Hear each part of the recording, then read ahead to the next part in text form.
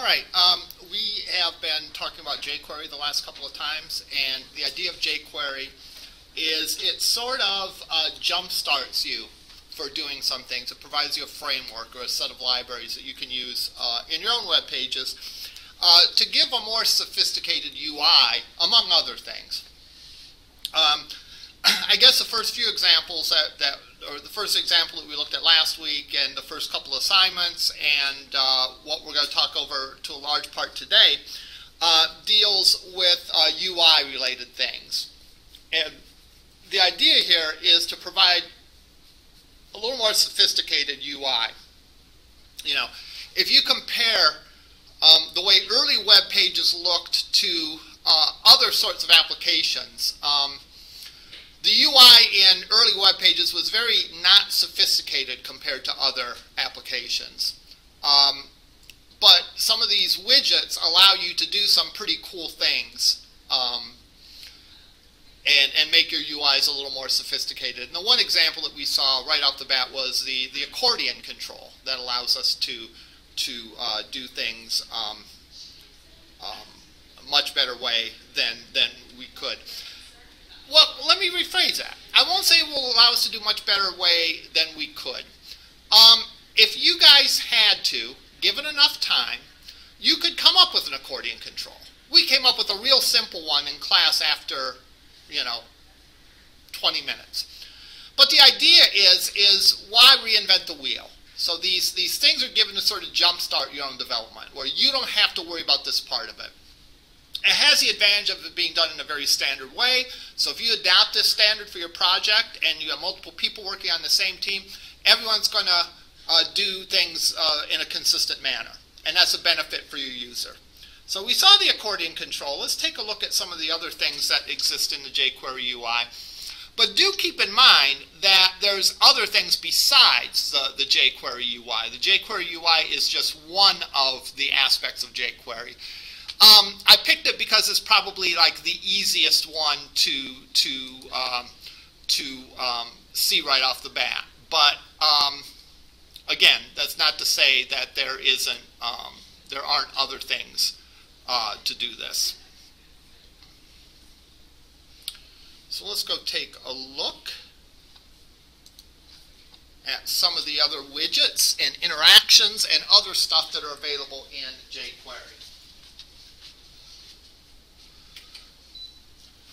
Last time, if you recall, I spent a little bit of time talking about like the mechanism by which it works. All right, the fact that there is a jQuery uh, base library, and there is um, a, a, a, library for the widgets, and there's some CSS things. And if you remember, uh, one of the ways it works is it accomplishes the, the task by attaching classes and functions to certain elements on your page. So when we, let, us take a brief look at the accordion to, that. So in the accordion example,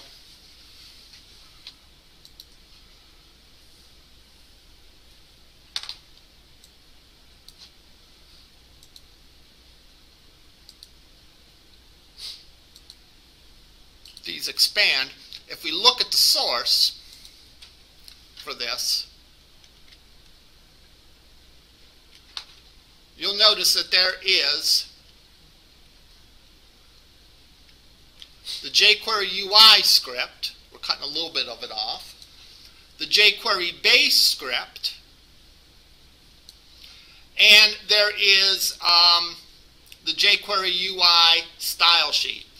In addition, there's the style sheet of um, the people that made this, you know, uh, their custom style sheet. One of the things that we talked about is adding your own style to some of these jQuery components. And again, what this line does simply is goes and it looks for the thing that has an ID of accordion. All right. So it's sort of a simplified way of selecting instead of get element by ID. Uh, we use this syntax. And it adds the accordion function to it. It makes it an accordion. In effect, what that does is this script has code in it to look for the thing that has an ID of accordion and add within it the different classes and functions. So using this and using this to, to find the element, the jQuery uh, base, using this to add the different classes, and then using this to style. This will also add some functions to it to make it so that when you click on the heading, um, it appears and the other ones disappear. So that's the mechanism by which this works. And all of these things work the same way. Now, um, that was just the basic default functionality. We have collapse content. And what is that? I don't really see any difference. Here we have custom icons. Well, so we'll skip that one. Uh, custom icons. Notice instead of the default, which has these little like upside down triangles, we substitute our own custom icon, in this case a down arrow and a horizontal arrow. How do we do that? Well, we add a little snippet of code that sort of modifies the accordion. We set our variables for our icons.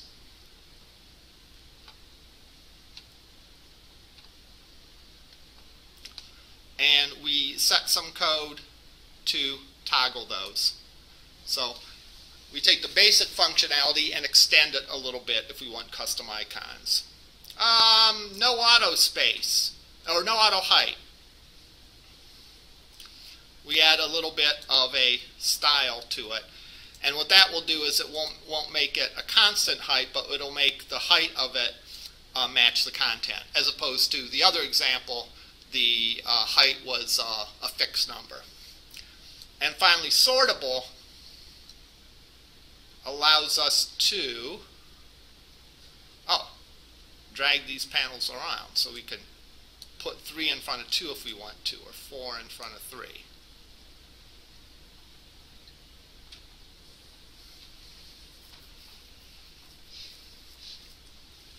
Now for some of these it's easy to add that little piece of functionality. For other things it's a little more involved.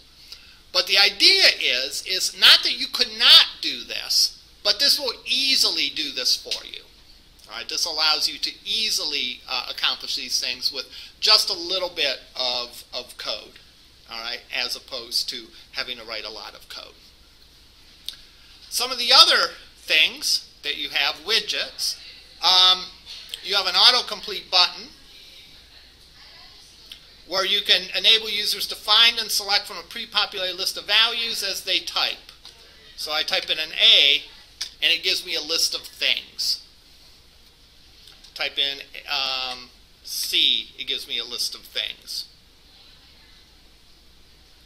I guess anywhere that it contains a C. I was going to say, because it looks like it's giving me the same list. All right, there you go. And if we look at the code for that,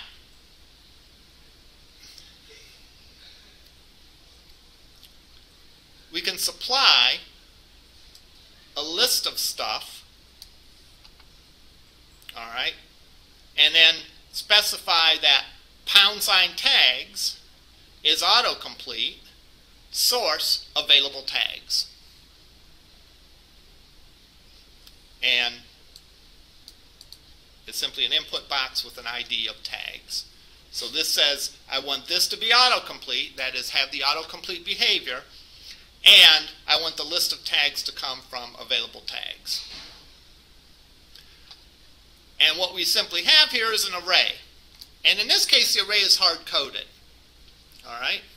What might be another way that we could get uh, an array of elements? Let's say we wanted to do an autocomplete of um, the professors at Lorain Community College so that when you typed in a name, you got a list. Now, keep in mind, that's not, probably we would not want that to be hard coded, right?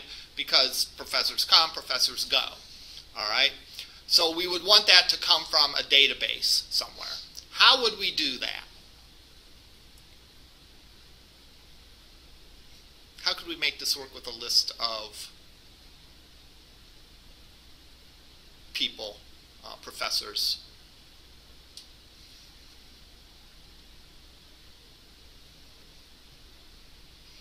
Well, we couldn't do it all client side, right?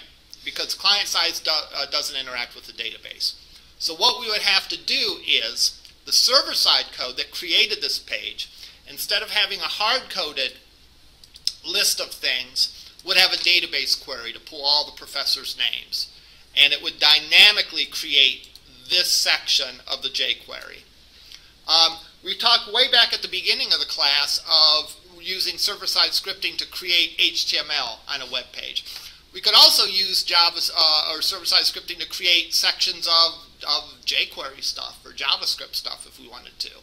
It's any of the content on the page we can create. So this would be essentially a blank space that would get filled in by a database query that would run on the server. When it got back to the client, it would look like this. It would have a list of all the professors in here. How do you think Google does it with its autocomplete? Sure you've all seen it, but just to refresh your memory, so I type in something,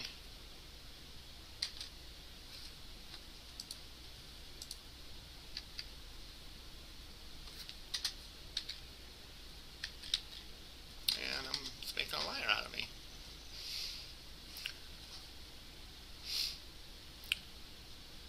We'll skip that then.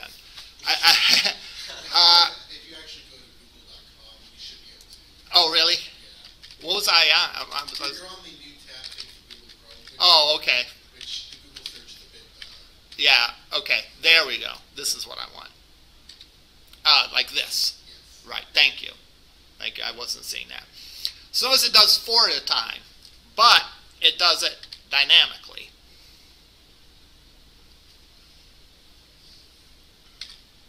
What does this sound like?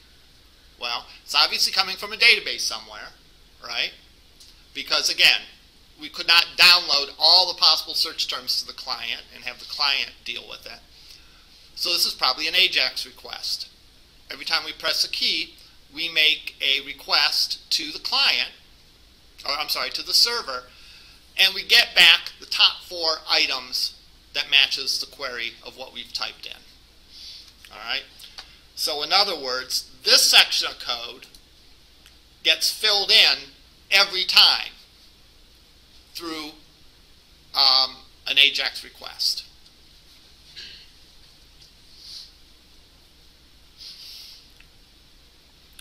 Uh, possibly. I don't know. I'm, I'm, I'm guessing, sort of, um, at that.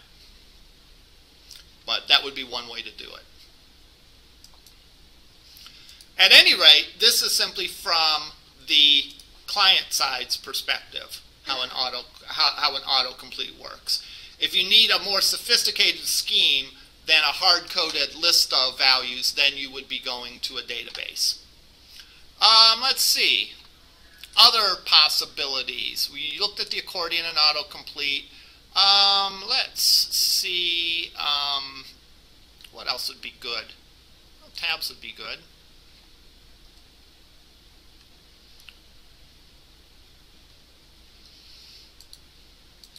Similar to an accordion control, except these, these should be all along a line. I, I just have a very narrow, there we go, make the page, make the, the, the text a little smaller. If you could imagine how this looks code-wide, probably looks a lot like the accordion control because essentially is an accordion control. It's just instead of the headings being interspersed with the text, all the headings are on the top. So if we look at the source,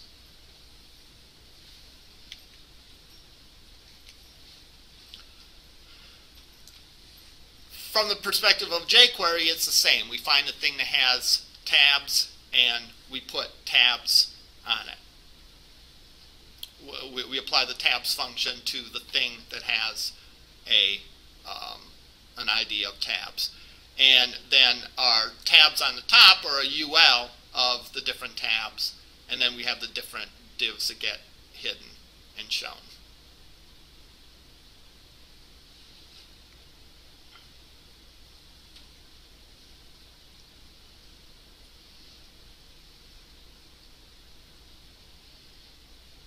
So let's go and let's take the example we did last time and turn it into tabs. Let's take the accordion example and turn it into tabs. So let's go, pull that down, wherever that one is.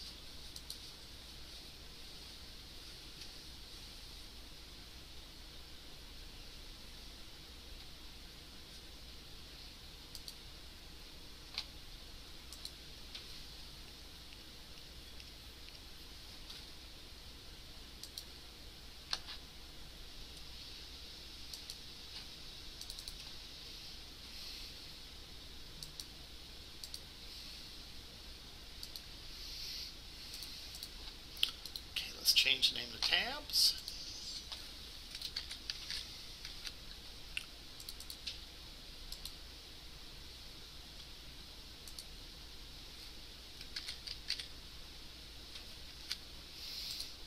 Alright, and let's edit this. So,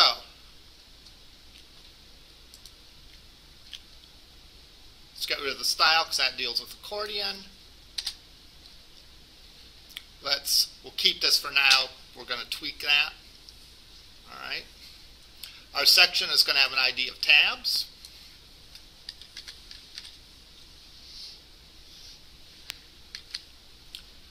We're now going to have an unordered list of links.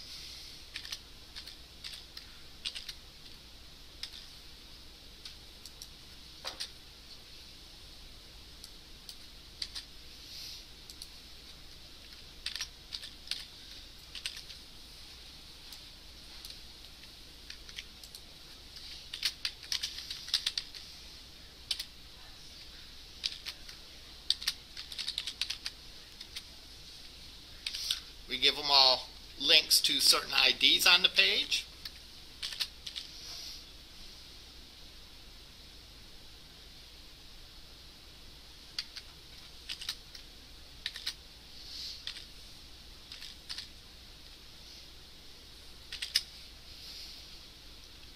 And we do that for the other two.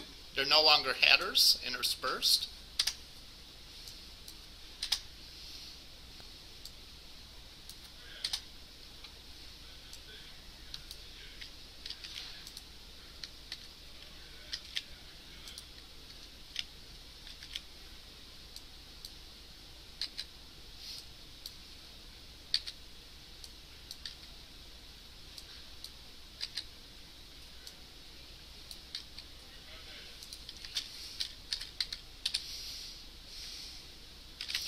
We'll give them their respective IDs.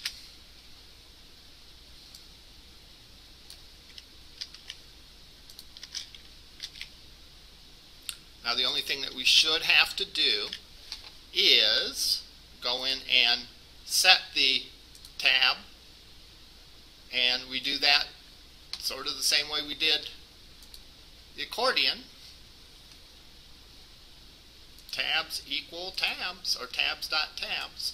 Find the thing on the page that has an ID of tabs and make it tabs.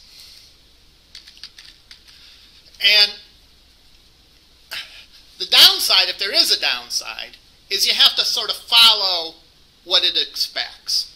Do you remember last time it expected there to be um, two uh, pairs of things in the accordion control a header and then a section of code. So if we tried to introduce a third thing in there in the group, it kind of screwed things up. But as long as we follow that header paragraph or header div, header div, header div, things worked out the way we wanted to. Same idea here. We need an unordered list at the beginning that has our links. And our links are going to be to the three sections or the different sections that are the rest of the, the, the rest of the div or the rest of the section. And if we do that, all we have to do then is say that thing that has an ID of tabs, I want to make it have tabs. So I can go in and save this. And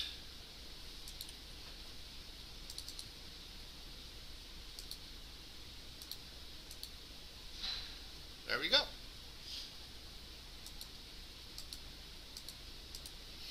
I am thinking I'm missing an ending tag or something because this isn't working exactly right.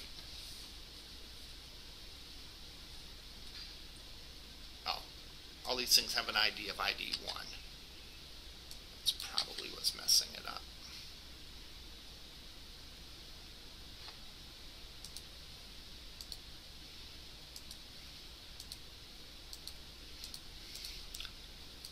Now it doesn't look like anything changes because they all have the exact same content, but I'll change that so that we can see.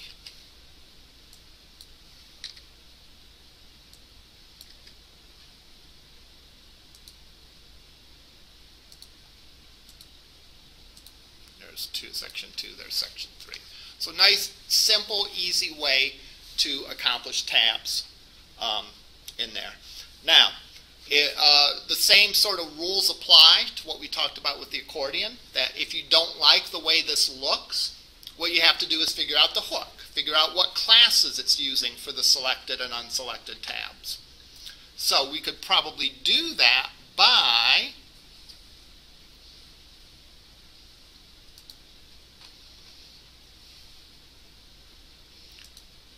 looking at this JavaScript seeing where it uses tabs,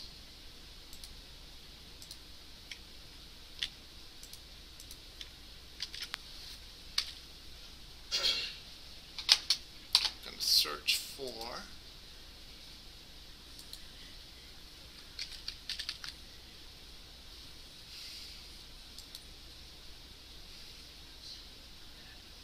Looks like we found it.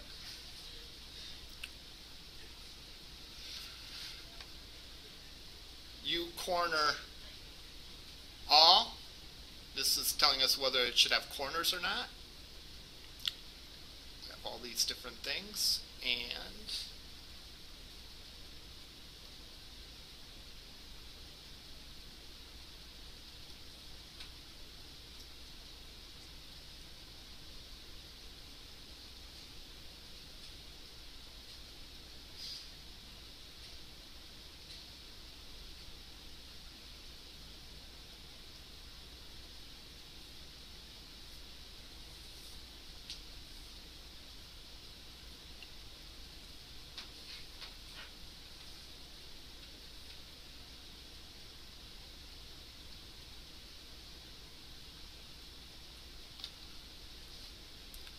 looks like we have two choices, UI tabs active and UI tabs disabled, I'm thinking. So if we go in here and make our style,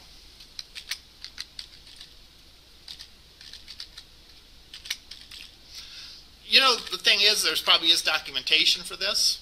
We'll look for it in a second. But being sort of old school, you know, crack open the hood and look to see what the actual code says instead of reading a stinking documentation. Who needs documentation? So we can define for the class UI, what I say, tab.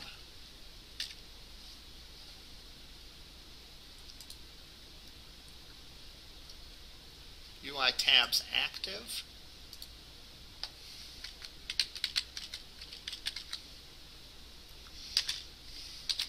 And I can make um, background. I want to make it dramatic, so I'll make the background red and the color white.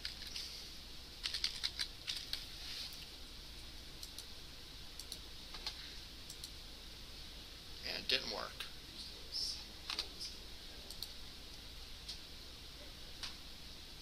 Use semicolon instead of colon. Still didn't work. Did I save it? Yes, I did. Should be a dash there. It still didn't work.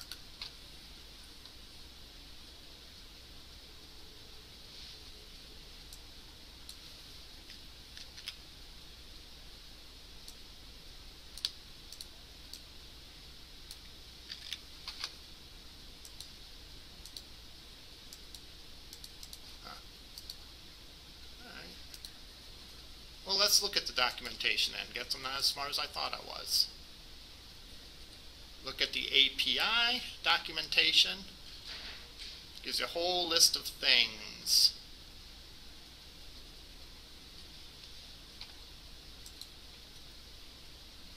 Classes.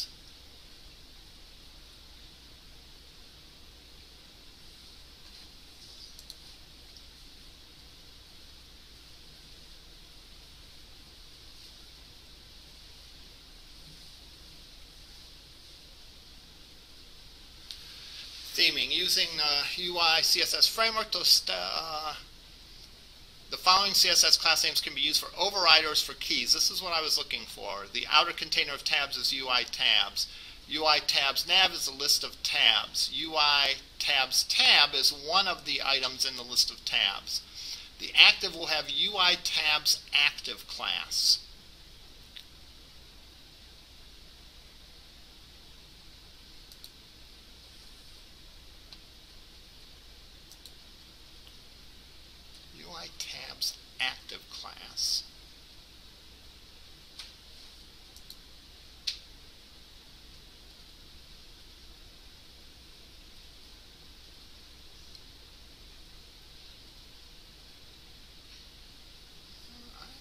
Sure why that's not working then.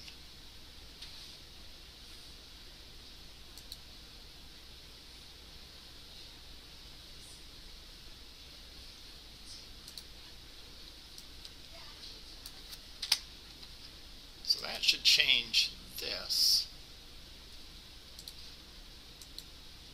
Okay, I changed that correctly. That's the outer container of tabs.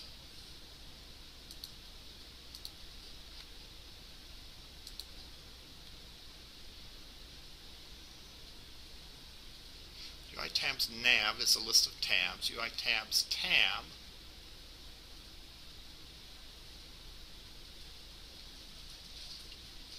UI tabs active.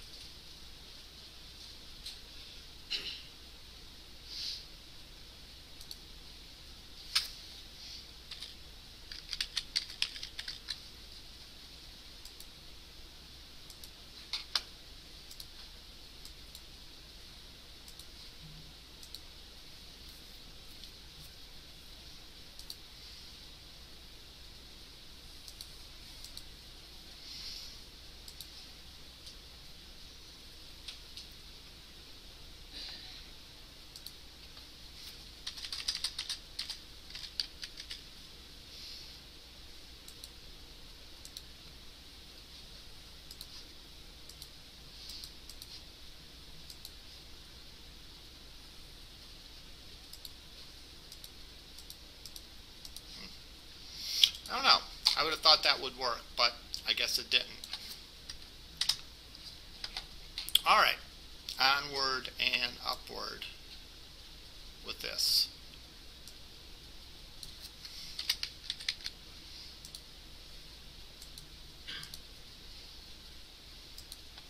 Not really sure why that didn't work. It sure looks like it should according to this.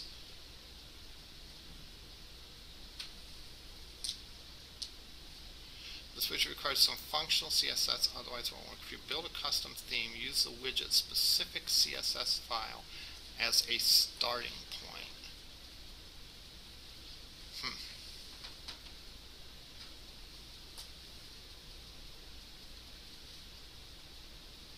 Not really sure what that means, but oh well.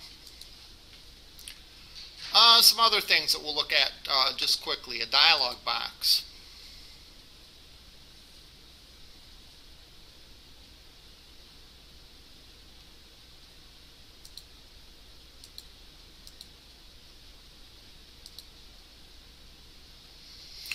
sort of a nicer version of an alert.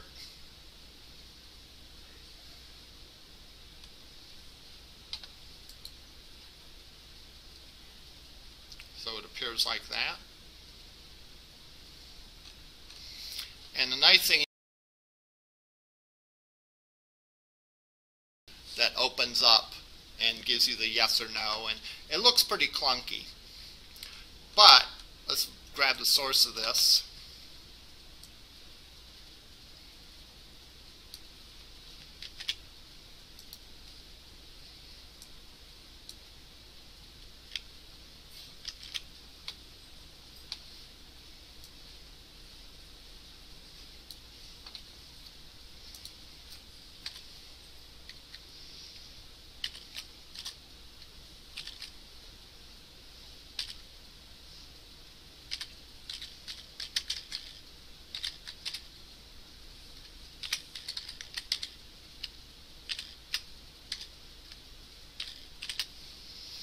So we can do something like this.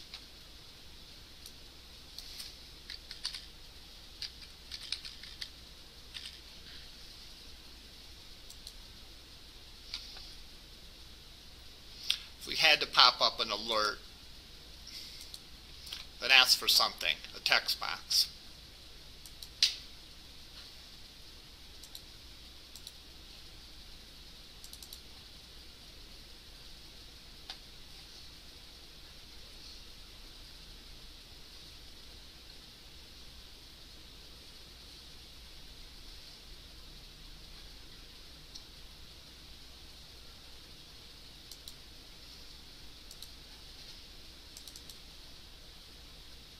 There we go.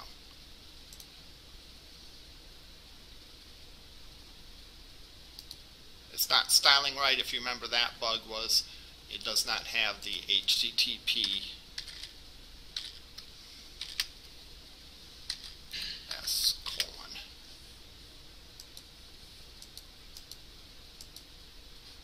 Alright, so now we have the ability to pop up and I'm sure we could write code that would, um, when they closed it, it would take the uh, take the value uh, from what we typed in and do something with it. All right, but what I wanted to show you is how this is a little better than a standard alert because you can customize it to put anything that you want in it. You know, um, enter your birth date. You know, enter the new pa- old password, new password, something along those lines. All right. the point isn't to go over all of these and uh, you know exhaustively.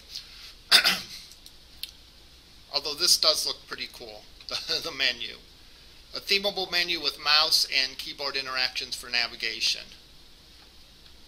Again, we, we've gone over examples like this, and you all could probably write this if you gave enough time. But the nice thing about this is that simply by stating that this is a menu,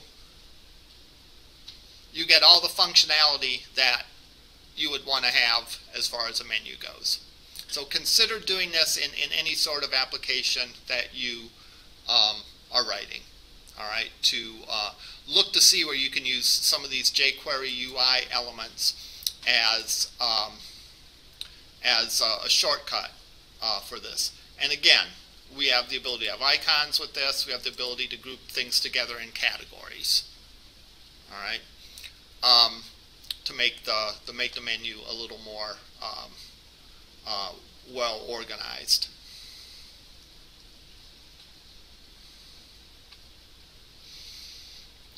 Here's an interesting snippet of code. Notice that really all a menu is, is we've defined an unordered list and given an ID of menu, and then we say the thing that has an ID of menu we want to treat like a menu. All right? Now, notice this. What are the items in the menu?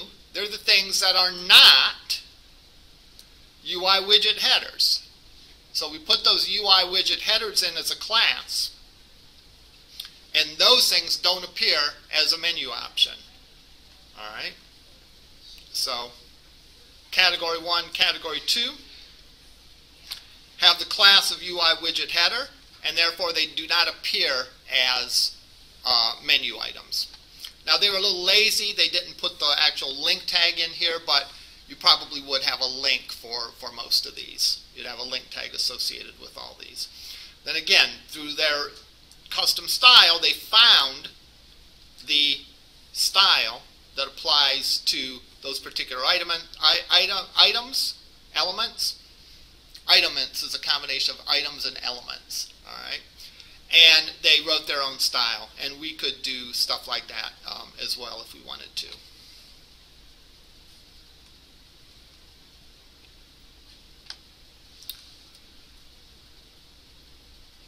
Your next um, assignment deals with, I think, making things resizable and draggable and droppable, or resizable and draggable. I think. Well, well, the accordion one is one assignment. Then your then your next assignment you you you un unaccordionize it and then make it draggable and droppable instead. So you can drag and drop the four pieces of your page anywhere on the page and minimize it, resize it, whatever. All right. There's a few other things that, that are cool in this. Notice that uh, when we when we viewed the accordion example, that notice that there's sort of a smoothness in it disappearing. It's not like boom, it disappears.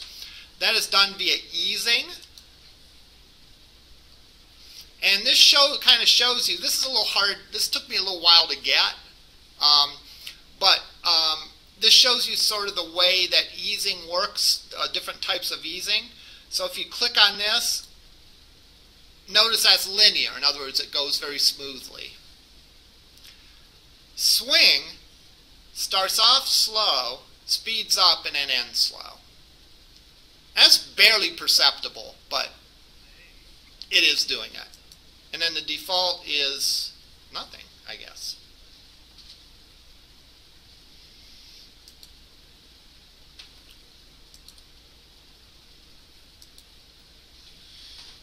There's different effects that you can have when you hide things.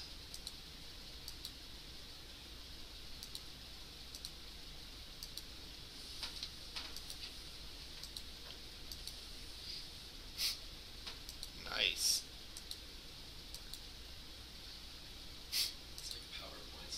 Yeah, right. Now, how do I want to say this? You can amused I am, right? By the fact that I'm sitting there clicking, ooh, look, you can do that, you can do that, you can do that. When you do something like this, though, be sure that it actually adds value to your to your web page. All right.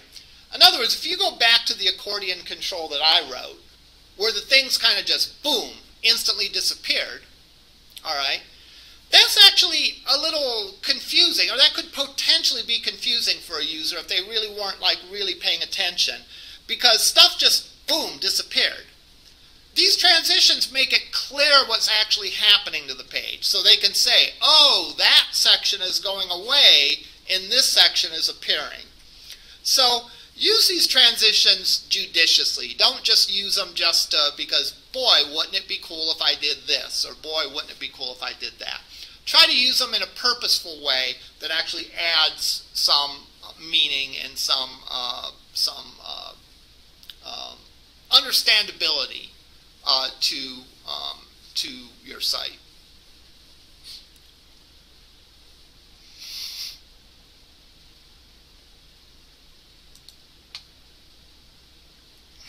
Oh, we looked at that one. Um,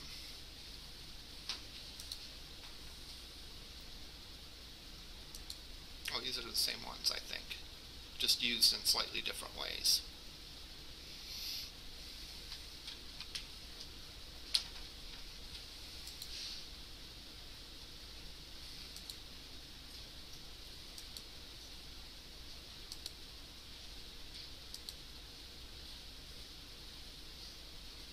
Kind of cool. Is it hard to code?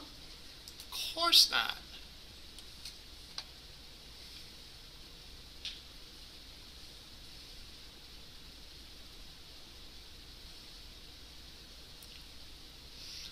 This is one thing that jQuery does a lot. Um, in HTML, when we first learned JavaScript, we wrote code that looked like this.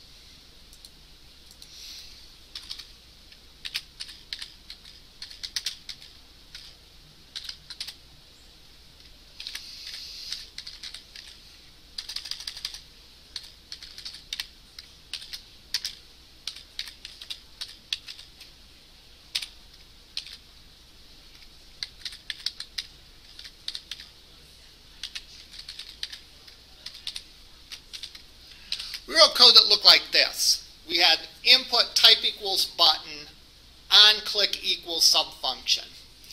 Um, there are purists among us, uh, and by us I mean people in the web development world, that would say that that is sort of combining a little bit of JavaScript and HTML. This is not keeping as clean of a separation as you would like to have. And therefore, the preferred way by those folks is to write code like this. And what does this code say? This code says, I'm going to define me a function here. What is the function for? Is for when this button, something happens to it. What happens to that button? Clicking it. What is the function? Well, the function is this code right here. Now, a few things to notice about this. It's really not that hard, right? It's really not that hard to take that approach, all right? It does get confusing by the use of brackets and braces and so on because you're saying I'm defining a function that looks like this. And remember, what do functions do? They have the parentheses for the arguments. They start and end with the braces. So this parenthesis goes with that parenthesis. This brace goes with that brace. This parenthesis goes with this parenthesis, and this brace goes with this function. So what you're doing is you're actually write, writing JavaScript code that defines a function and attaches it to a UI element. The purists will tell you that that's a better way to write JavaScript code than to do this, which is a mix of HTML and sticking a little bit of JavaScript as part of the HTML that this is a more pure JavaScript approach in that all the JavaScript is done in JavaScript. The JavaScript assigns itself to an HTML element. So there's a cleaner separation. Uh, and there's a lot of advantages of doing that. Um, you know, you could um, you know, easily change um, you could you could probably more easily reuse this on different HTML pages. All right, because you're actually using JavaScript to uh, assign things on it. So you could probably be more likely to reuse that uh, code. Um, and in general, it doesn't cloud up your HTML. Um, and again, a uh, number of, of other advantages associated with it. So it's one thing to be aware of. Are there any questions? Let me tell you how it's going to go for the next week and a half, because believe it or not, we are zeroing in on spring break. All right, this is week seven, right? Yeah, this is week seven. And next week is week eight, and spring break is after week eight. So spring, we have three more classes before week eight. What I plan to do is talk more about jQuery on Monday, uh, uh, no, this is Monday, on Wednesday, um, focusing on things other than the jQuery UI stuff. All right, we've kind of given an overview of the jQuery UI stuff, and you can use that. But um, we're going to look at some of the other sorts of jQuery functionality. Um, maybe look at how we could take an old old thing that we did in um, JavaScript and, and rewrite it in jQuery and see hopefully it should be a lot more uh, simpler and straightforward. So we're going to do jQuery for Wednesday and it's probably some of Monday. Monday we will do some review. And then I will make the, then uh, uh, Wednesday will be a work day, a day for you to catch up on any assignments that you have in. Not two days from now, but nine days from now. The, the last day before um, spring break, the last class before spring break. Will be a work day. And if you are all caught up, you can take that time and do the midterm if you want. The midterm will be available online. And we'll talk more about the midterm next week um, during the review session on Monday. Are there any questions? All right. We'll see you over in Lamb.